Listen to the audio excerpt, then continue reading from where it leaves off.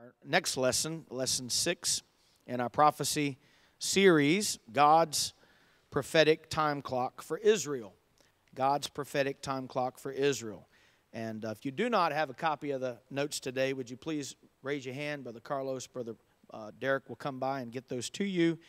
And this, of course, is a brand new handout from last week. So if you have last week's handout, you're probably going to uh, be looking at it strange in the next few minutes because nothing's going to make sense. The new handout is for today and probably next week as well. Believe it or not, God does have a time clock for the nation of Israel, and for that matter, for, the, for prophecy in, in general. Most prophecies don't have dates predicting, uh, predicting times of fulfillment.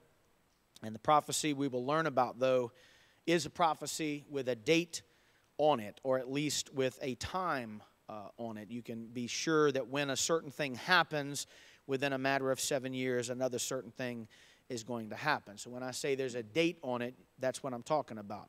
When the confirmation of the covenant happens, and we'll go over what that is again in review, when the confirmation of the covenant happens, it will be seven years until the Battle of Armageddon and the final coming of Jesus Christ. So you can take it to the bank that when Israel rebuilds their third temple and animal sacrifices resume, that it's seven years until Armageddon. And it's seven years until the final coming of Jesus Christ. Now, this is important. This prophecy is extremely important.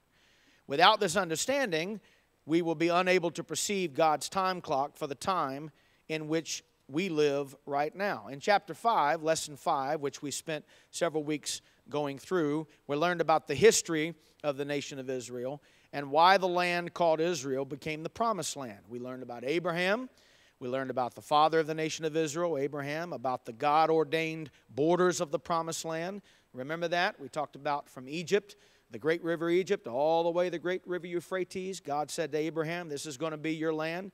We discovered from Scripture where God placed his name on the Temple Mount. We understand that that Temple Mount, of course, is Mount Moriah. We also learned about the first temple. The first temple was uh, destroyed in 586 BC and Israel's first exile of 70 years began. The second temple, its destruction in 70 AD by Titus the Roman emperor, as well as Israel's second exile of 1878 years. You may remember that that exile ended in 1948 when the United Nations gave Israel back their land. Finally, we learned about the nation of Israel being reborn and that the Temple Mount was reclaimed by Israel in the 1967 Six Day War. Last week we ran out of time. I was not able just to touch base with the details of the Six Day War, but I mentioned to you briefly that in six days Israel was able to defeat several nations that had risen up against them. And in this in this great victory that they won, totally outnumbered, outmaneuvered, uh, didn't have the equipment to match these other nations that came against them, and how the Lord intervened on their behalf. But in that stunning victory, they reclaimed the Temple Mount area. So now the Temple Mount area is under control of Israel. That's important because that's where they're going to rebuild their temple. Amen. Obviously, it makes sense. They can't rebuild the temple in a place they don't have. But if they have it, now the road is clear for them to rebuild their temple. It was a stunning event. Israel defeated all of her enemies in six short days. I'm not surprised by that since the Jews were told by the Lord, take the seventh day as a Sabbath. So even in a time of war, he gave them six days to work and then gave them a day off. And they won that war in six days. Israel captured the Sinai Desert in the south from Egypt. They captured the Golan Heights in the north from Syria and the biblical area from Judah, Samaria, and Jordan, all the city of Jerusalem. And all of these areas, interestingly enough, are part of the biblical promised land. But the crowning achievement in this six day war was when they captured Jerusalem, when they, when they got the whole city under their control, including the Temple Mount, where Almighty God said 37 times in the Old Testament, That is where I will put my name. 37 times the Lord said, That is where I will put my name. This is the place where Abraham raised his knife over Isaac. It's the same place where the threshing floor God told David to buy from Araunah was located. This is all the same place. It's where the first temple stood, it's where the second temple stood, and it's going to be where the third temple will be rebuilt. So, this Temple Mount, this Mount Moriah, is not just another little piece of real estate that the Jews are fighting over. This means something to them. Amen. They have to have this to fulfill prophecy. Amen. So now you understand why the Jews are very adamant. They're not giving that away to the Palestinians. Even when the global uh, authorities come and say, look, you just, we could have peace here if you just give a little bit of this away. And they said, we can't give it away. This is where our temple's got to be rebuilt. Amen. This is where God said He'd put His name 37 times in the Old Testament. I will put my name. That's where he said he would. It's where Abraham was about to offer Isaac. It's where the first temple was. It's where the second temple was. And it's where we're going to rebuild our third temple. So hopefully that puts a little bit into perspective. Now, Yom Kippur is the day of judgment. Everybody say Yom Kippur. Y O M is the first word, and Kippur, K I P P U R, if you're taking notes, is the second word. This is when the Jewish people believe they are to take inventory of themselves on Rosh Hashanah. They are to repent, they are to fast all day on Yom Kippur, and they are to ask God to forgive their sin. And according to Jewish belief, if they do not repent, God will send judgment. Well, God sent the judgment of the Yom Kippur War, and they came awfully close to being totally defeated. The Yom Kippur War. Six years after returning to the Temple Mount, when they could have inherited the blessings of God if they would have obeyed Him, they turned it over. They did the unthinkable. They turned it over to the Palestinians. It was unbelievable that Israel did that. And God, in His anger, judged the people of Israel on Judgment Day in the Old Testament, which is Yom Kippur. Some of you may know a little bit of the history of this, and so it's just a, a, review to kind of get you to the point of where we're at now with Israel. Over time, Israel had sought to make treaties with her Arabian neighbors. And look, folks, we've lost track of how many times different presidents have announced we think there's going to be a peace deal. We're almost there, right? I mean, Jimmy Carter, Ronald Reagan, Bush 1, Bush 2, uh, they've, they've all, Barack Obama, Trump, right? Biden, uh, every single one of them have said, we're going to try to, uh, uh we, think, we think there's a, a, little glimmer of opportunity here. And it all comes crashing down. It all comes crashing down. Amen. Israel has always, whenever they try to make peace with her Arabian neighbors and they violate the scripture, they bring the judgment of God on them. Look in Exodus 23 32. Let me read this verse 2. You will put it on the screen there. Exodus 23 32. God instructed Israel, Thou shalt make no covenant with them, nor with their gods. Now, folks, I don't know how much more clear you can get that, that get than that. They are not allowed to make covenants with unbelievers, and they are not allowed to make covenants with their false gods. Well, what false god do the Arabians worship? They worship Muhammad the prophet, they listen to him, and they worship Allah right? They don't even believe Jesus is the Messiah. So they don't worship the same God, and the Jews are not to make any covenant with them. Over time, there have been leaders that have come up in Israel that have chosen to do things their way, and God has been watching every choice that Israel has made. He's aware of their failure to live by His word and His instructions. God knows they've been living on their own terms and according to their own intelligence, reasons, and desires. In 1979, let me just give you a little history here an Israeli Egyptian peace treaty was formed by U.S. President Jimmy Carter at the Camp David Accords. In 1993, the Oslo Peace Accords were signed on the White House lawn, where Yasser Arafat and Yitzhak Rabin are pictured shaking hands with each other as President Clinton stood in the background. But if you notice, look at the video on YouTube of that, of that situation. There's a time when President Clinton hands the pen to Yitzhak Rabin, and Yitzhak Rabin looks at the pen and he looks at the paper and he pauses. And I believe he was pausing because he knew I'm about to violate Exodus chapter 23, verse 32. I'm about to make a covenant with people that we are not supposed to make covenants with. And I'm about to worship a God that I'm not allowed to worship. He hesitates. Check it out sometime. It's an amazing thing. You can physically see him pause because I think he is, he is going over it in his mind. The very next year, 1994, the Israeli Jordanian peace agreement was signed. Six years later, President Bill Clinton wanted to continue to make attempts to bring peace to the Middle East. And so Clinton, Ehud Barak, who was the prime minister of Israel at the time, Yasser Arafat, the president of the Palestinian Authority, met together for 14 days at Camp David, tried to push it to a final peace agreement. President Clinton tried hard to make it happen, but it just wasn't going to happen. And you remember hearing it over and over and over in the news. There were no smartphones in those days. So every time you turned the radio on, this was what they were talking about. It was in all the papers, it was in Time Magazine, Life Magazine, and all the magazines. It was all we heard about. And when they came to the issue of the Temple Mount, Yasser Arafat said it was their third holy site, and they were never going to give it up. Ehud Barak said, Well, the Palestinians already have your first holy site in Mecca, and you have your second holy site in Medina. But the Jews, we don't even have our first holy site. Y'all have a holy site already, two of them. We don't even have our first. And we want the Temple Mount to be our first holy site. And the Palestinians would not give it up. And so everybody refused to sign. President Clinton, listen closely, offered the solution to share the Temple Mount which we know is going to be, when that happens, the confirmation of the covenant.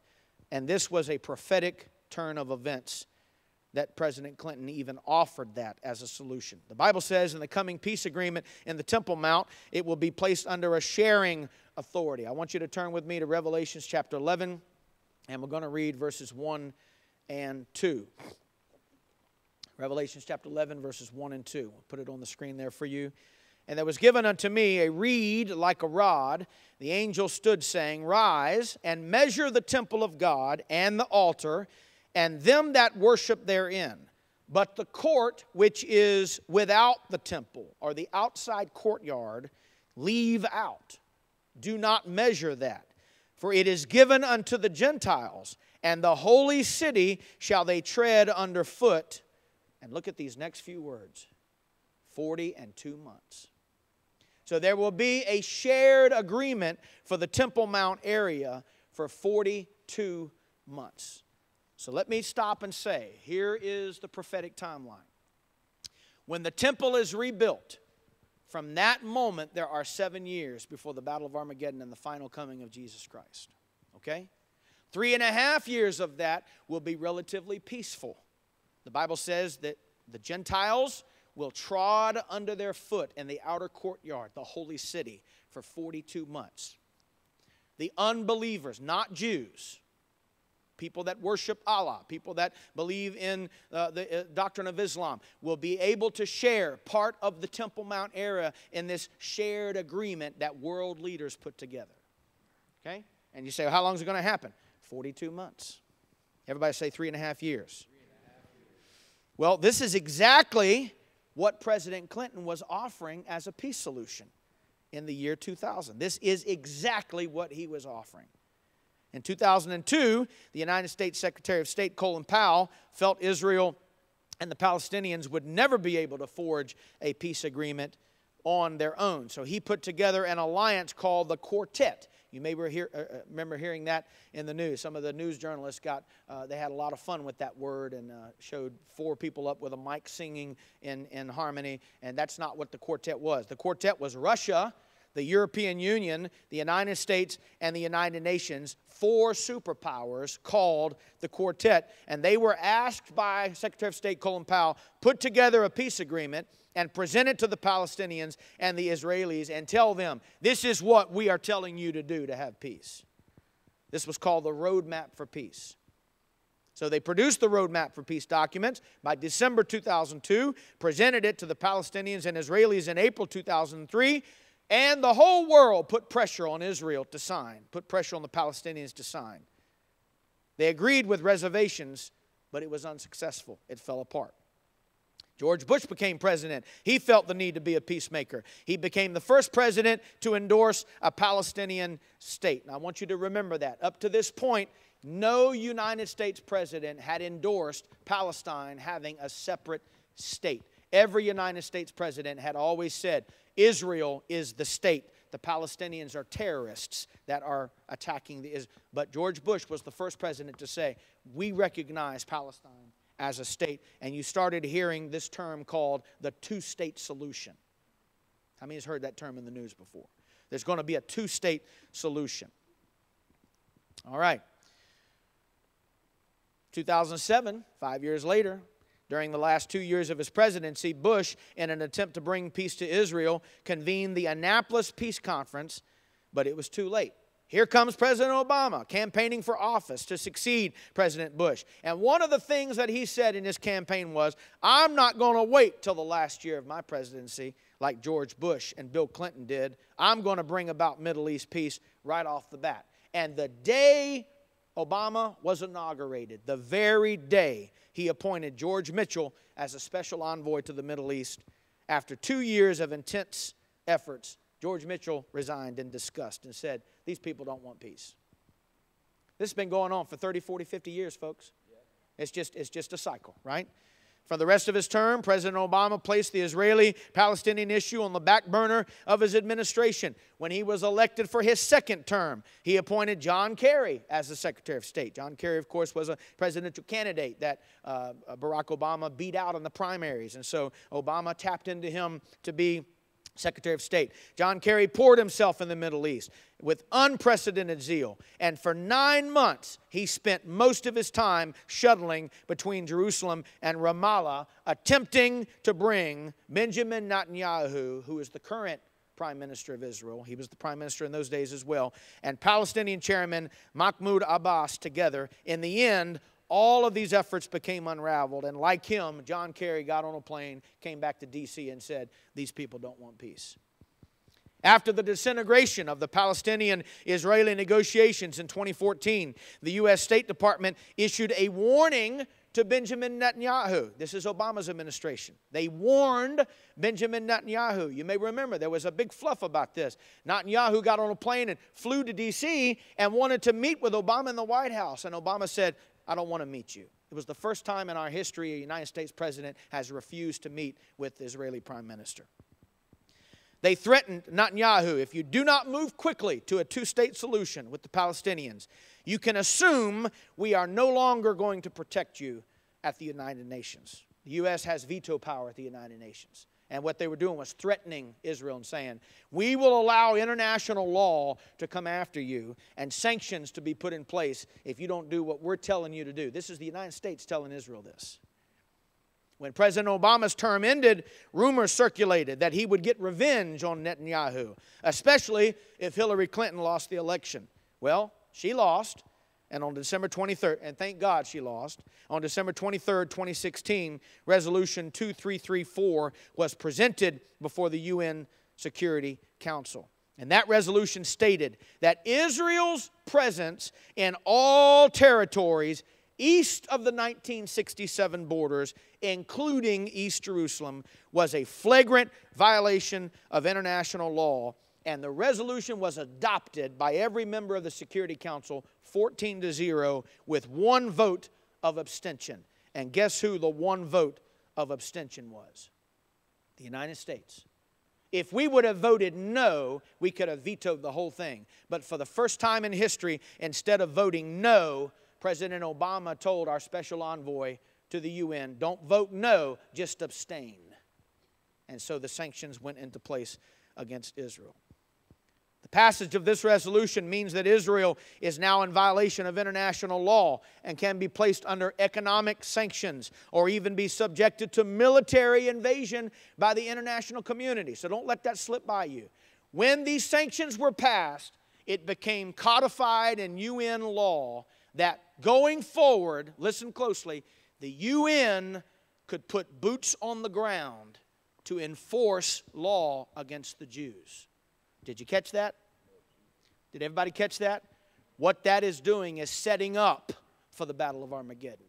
When the UN forces with their blue helmets are helicoptered in and land in Jerusalem and they say, We have authority to be here because 14 to 0, it was, it was chosen that you would be sanctioned and you are in violation of international law for being in these certain areas. We've asked you to pull your uh, people out and you won't, so now we're going to make you. And that will be the beginning of the actual battle of Armageddon. And the law has already been passed 14 to 0. Look at your neighbor and say, It's about to happen.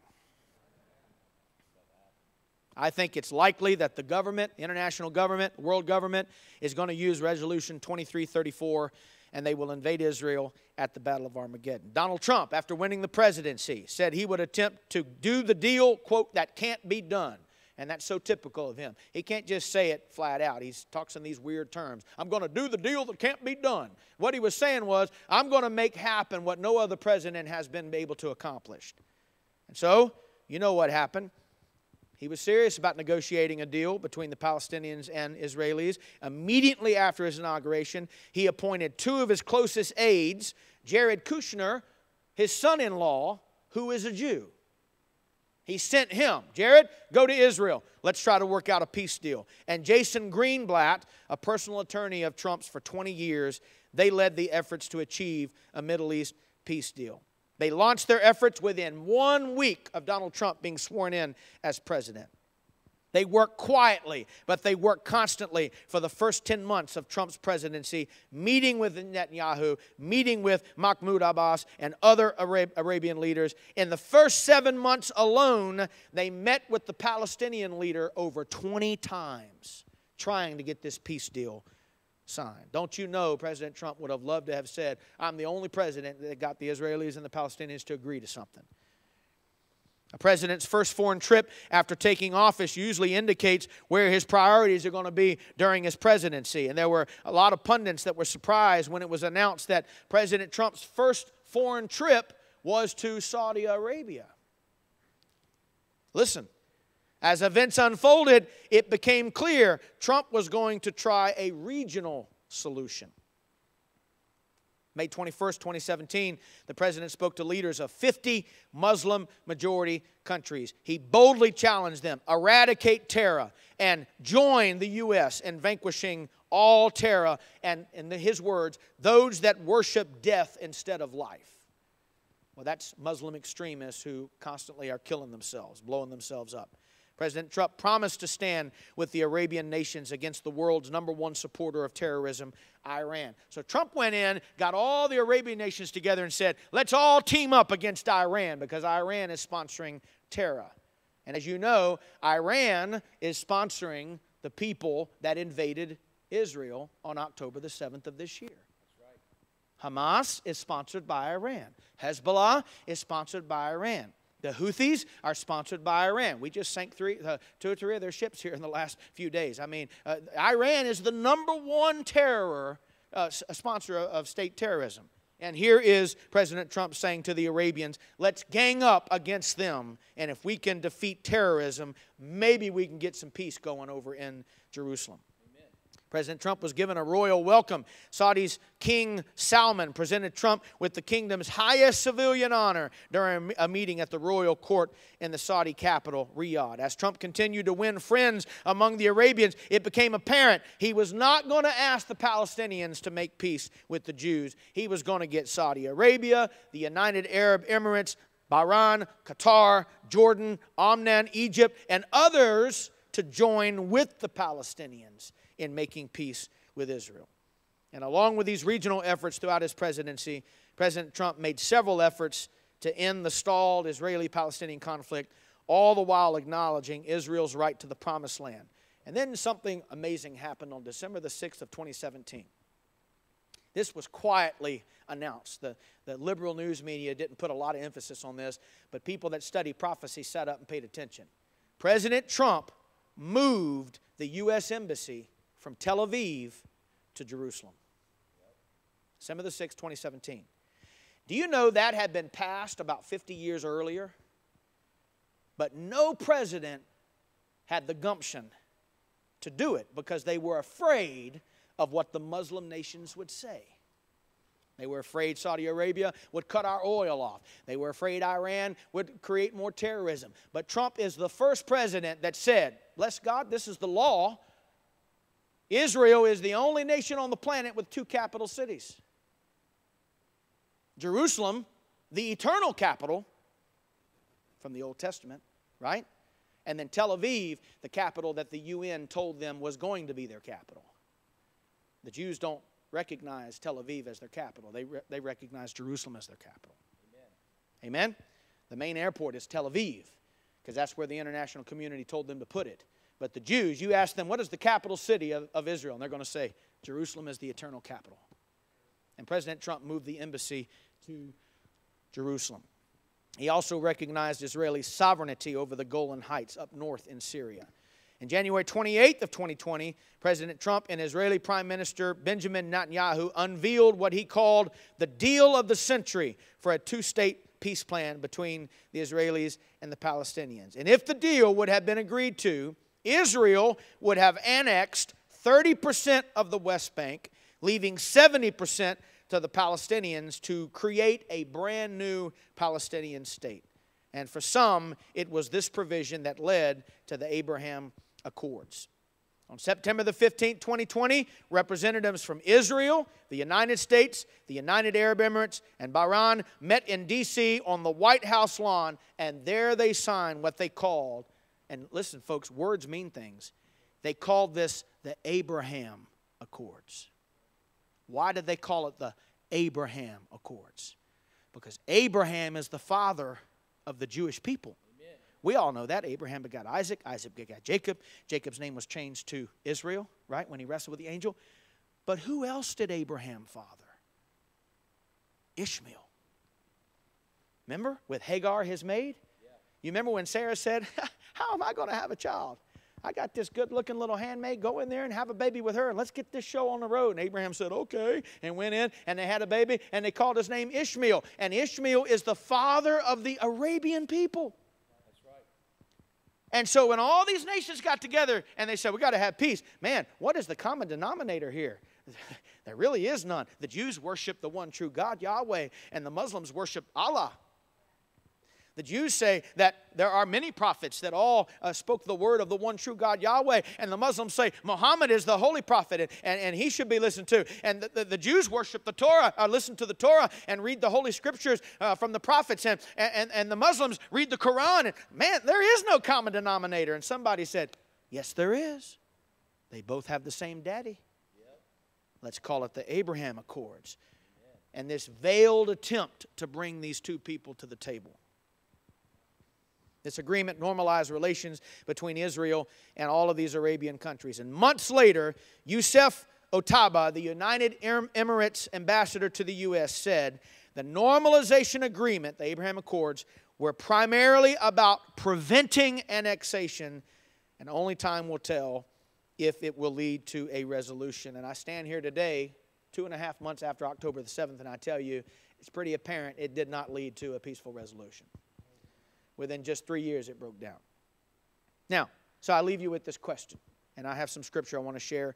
Turn to Daniel 9 24, and I've been giving you some details because I'm leading up to this point. Daniel 9 24, and we're going to read down through verse number 27.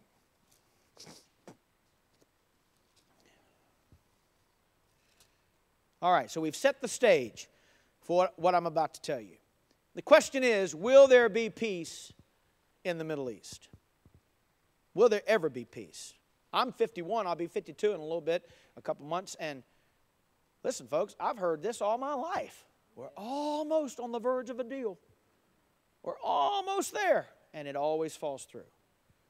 One of the greatest prophecies of all foretold is the Messiah would come to the earth. That was one of the greatest prophecies and it would prove the identity of the Messiah. One of the greatest prophecies ever foretold was the crucifixion of the Messiah and the destruction of the city of Jerusalem and the temple. One of the greatest prophecies ever told is that this event will trigger the final seven years to Armageddon. You say, Pastor, you're talking about multiple prophecies. No, I'm talking about one passage of Scripture that I'm going to share with you that prophesies all of this at the same time. This prophecy provides clues to the identity of the Antichrist and establishes the seven year timeline for end time events. How soon will the final seven years begin? Well, the stage is set right now. And I believe that with what happened two and a half months ago, right about the time I started teaching this lesson, we have been launched into the time that this is happening. Let's read Daniel 9 24. Now, this is, this is dense, folks. You've got to really pay attention to this. Uh, and I'll go back and, and, and explain it as, as much as possible, but I really need you to focus on this. Daniel 9 and 24.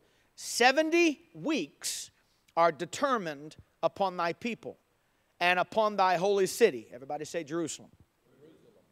The people of the Jews. So here's Daniel. This is what we call the 70 week vision.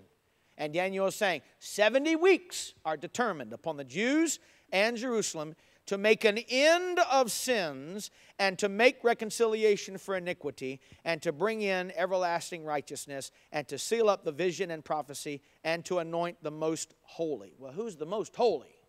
Jesus. So 70 weeks. Verse 25. Know therefore and understand. So, real quick, don't let your eyes cross when we get into complicated prophecy and say, oh my God, Pastor, I, I, the Bible says you need to know and you need to understand. That's why we stop and teach it.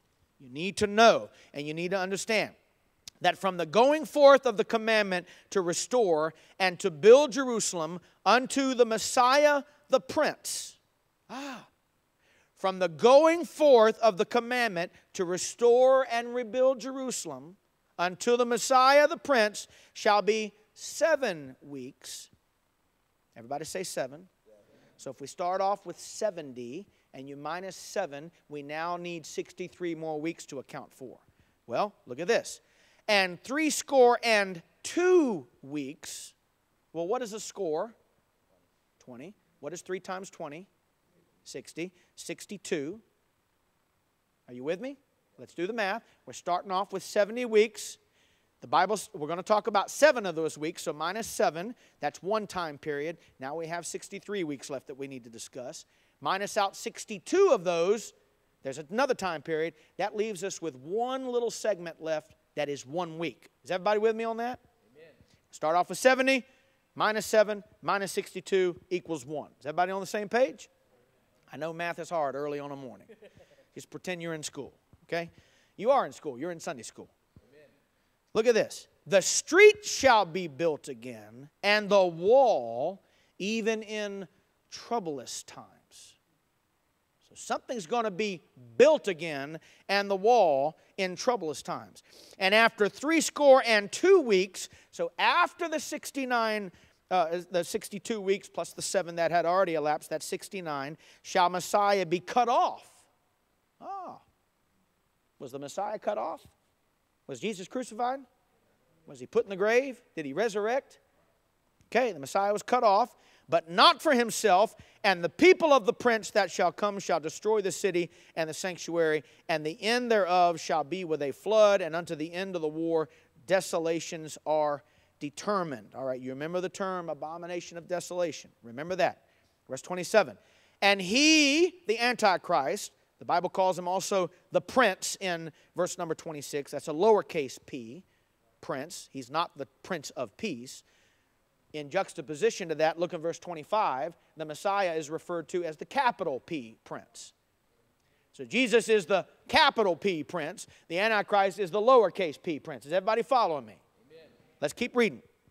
The Antichrist shall confirm the covenant, verse 27, the covenant shall be confirmed. What is the covenant that we've been talking about that's going to be confirmed? It's this idea that the Jews are going to have to share the outer courtyard with the Gentiles on the Temple Mount. All right, verse 27. He shall confirm the covenant with many for one week, and in the midst of the week he shall cause the sacrifice, the oblation to cease, for the overspreading of abominations he shall make it desolate even until the consummation that determined shall be poured upon the desolate. Verse 27, Jesus quotes that verse in Matthew and calls it the abomination of desolation. That's right. Paul quotes it in his epistles and calls it the abomination of desolation. They are both referring to Daniel 9:27. This is just review because we've gone over this ad nauseum. What is an abomination? Something God hates. What is a desolation? Something that is destructive, something that means was destroyed. So something is going to happen that God hates that's going to cause destruction. Okay? All right. Now, this one prophecy, Daniel 9 24 through 27, this one prophecy in one portion of Scripture, just several verses, covers from when the Messiah comes to the earth to when he's crucified, the church age, and then the final seven years. And it speaks of it in the word called a week. Okay? The prophecy foretells a peace agreement that will be reached between the Israelis and the Palestinians.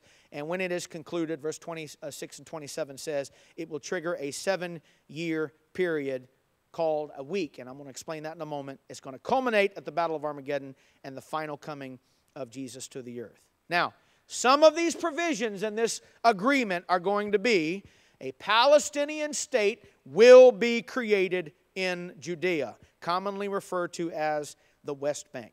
Jews that are presently living in the area of the new Palestinian state will probably be permitted to stay living as Jews in a minority situation under Palestinian government.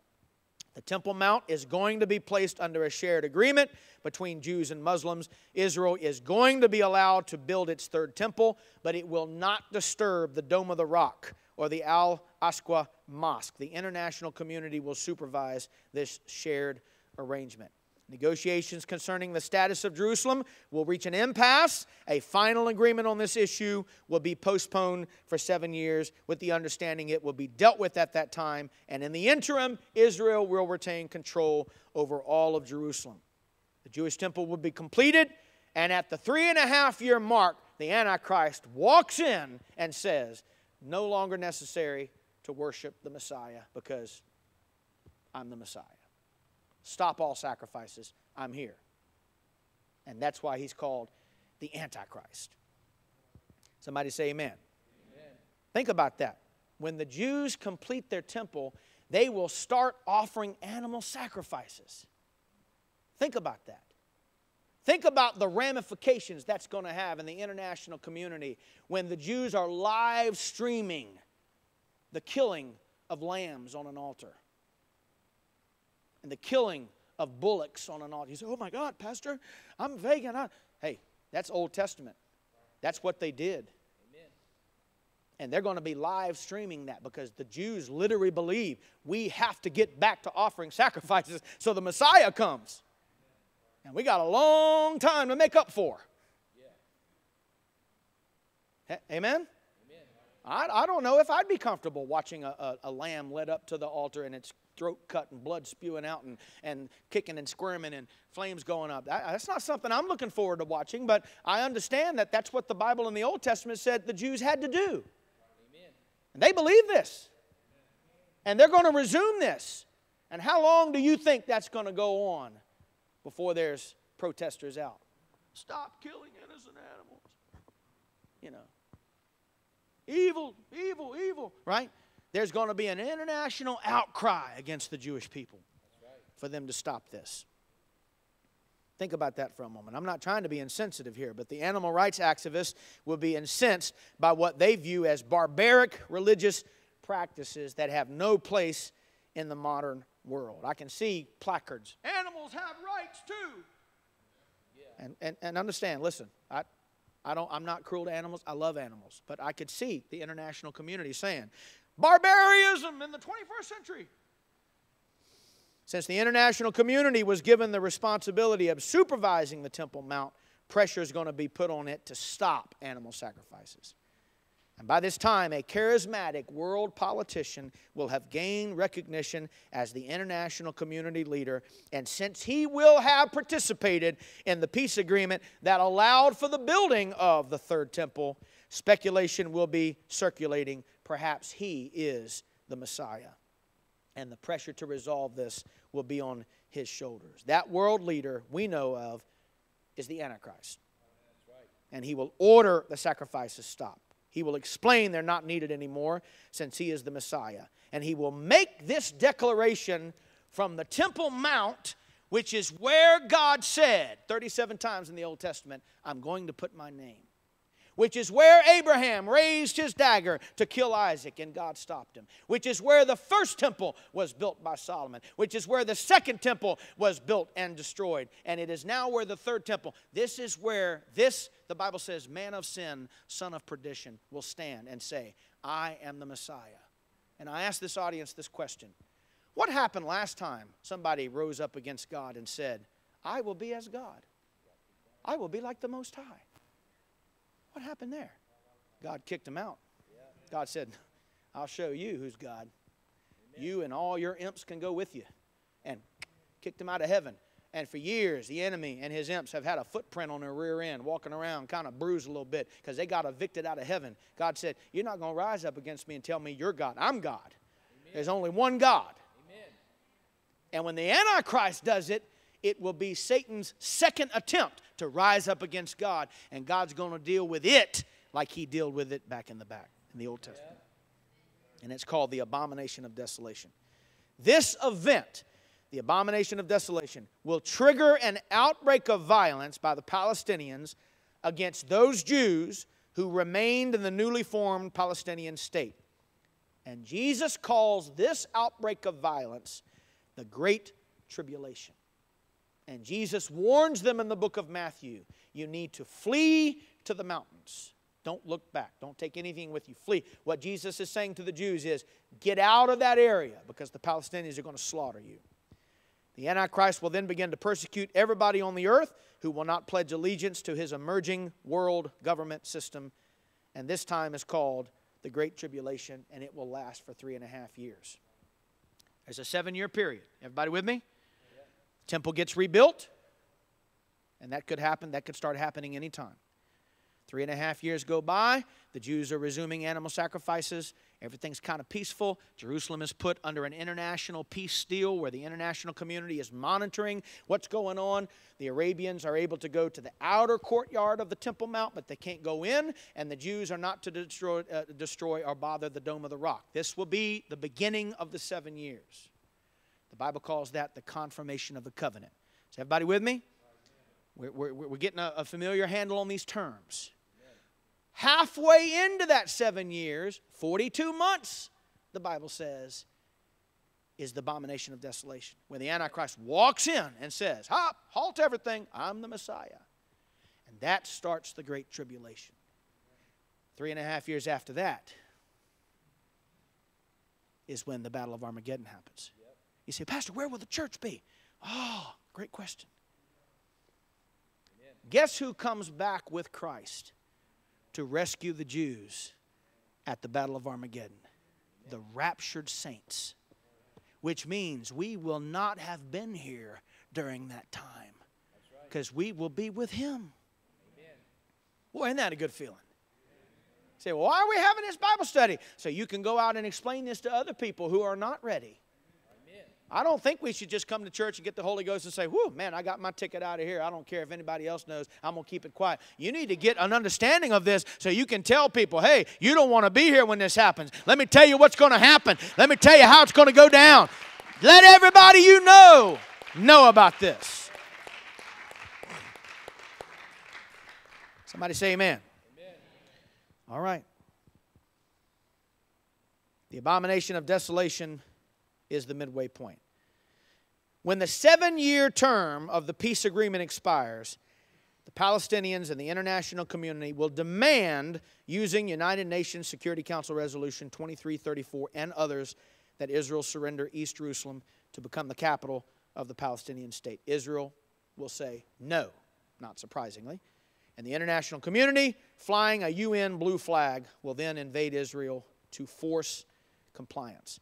Israel will fight against the invading armies of the Antichrist and the world government, and the Bible calls this the Battle of Armageddon. Israel will fall back under the superior firepower of all the international community. Finally, Israel will make its last stand at its eternal capital, Jerusalem. Half of Jerusalem will fall to the UN.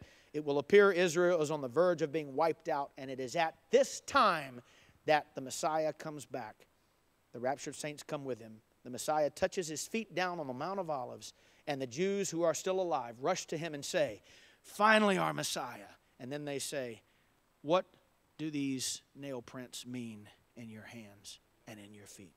And it dawns on them that their Messiah is none other than Jesus Christ. Somebody say amen.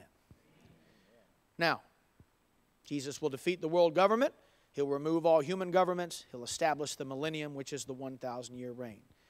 It's one thing to assert all these things are going to happen, but how can we prove it? I'm going to leave you hanging here a little bit. Next week, we're going to go back to Daniel 9 24 through 27, and I'm going to break down those three time segments the seven week period, the 62 week period, and the final one week period, which total 70 weeks. I'm going to break those down and go over them, and it's going to blow your mind how accurate the scripture is. Somebody say amen. amen. Keep your hand out. We did make some extra copies, but keep it so you can bring it next week and uh, fill in the blanks. And when we get done, of course, we'll go through, as we always do, and give you all the answers to all the questions. So some of you like to follow and write as you go. Some of you, it aggravates you to have to be waiting with bated breath, and I understand that. There are different ways of learning. If you don't want to be waiting for every uh, word, that's fine. You can wait to the end. If you, if you learn better by just listening and soaking it all up, that's fine. At the end, we'll give you all the answers. Amen? Let's stand together. Praise God. God bless you. We're going to have a great day today. Amen. I believe God's going to help us end this year on a high note, start the new year on a high note. Let's lift our hands and receive His word. Father, we thank you for your presence today. Thank you for your spirit.